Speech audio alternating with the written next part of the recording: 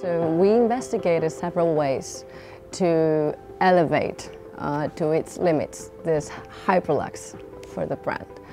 Um, so we wanted to channel very high standard luxury brands. And one thing they do is have this pattern that they place in a lot of luxury elements.